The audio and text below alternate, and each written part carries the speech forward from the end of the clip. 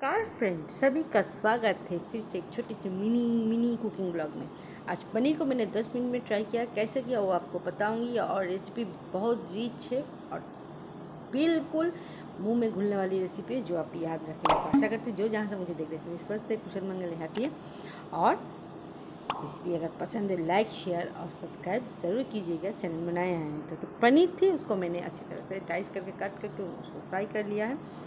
और इसमें कुछ नहीं चाहिए। मसाला वगैरह इतना ज़्यादा कुछ ताम झाम की ज़रूरत दस मिनट में बनने वाली रेसिपी है आप बिल्कुल देख लीजिएगा। सिर्फ़ मगज को दो घंटे पहले भिगो के रखना।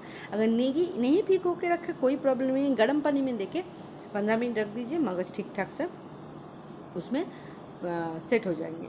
अभी देखिए जितने भी खड़े मसाले थे उसी तेल में जिसमें मैंने पनीर फ्राई किया उसी तेल में मैंने खड़े मसाले दे दिए और साथ में दो तेज पत्ते आप चाहे तो शाही जीरा का इसमें यूज़ कर सकते हैं। हम लोग जो नॉर्मली जो जी, जीरा वगैरह खाते हैं ना वो मत दीजिएगा वो अच्छा नहीं लगता है। और जितना भी पेस्ट था मगज और अदरक का वो पेस्ट मैंने अब देख के अच्छी तरह से थोड़ा फ्राई कर लूँगी उसके साथ गर्म मसाले चीनी शुगर एक ही बात है नमक और शुगर दे के और थोड़ी सी काली मिर्च दे के अच्छी तरह से मसाला को फ्राई कर लूँगी। तेल छूट रहा है इस टाइम में मैं किशमिश दे दूँगी।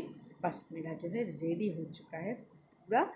मसाला का ग्रेवी अभी दे दूँगी इसमें पानी और बॉयल आने तक थोड़ा वेट कर लूँगी जब भी बॉयल आ जाएँगे, पनीर दे दूँगी।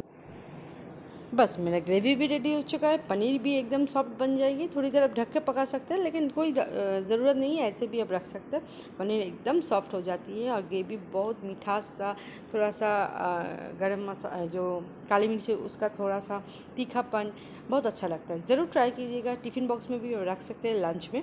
तो कैसे लगा रेसिपी ज़रूर कॉमेंट सेक्शन में बताइएगा।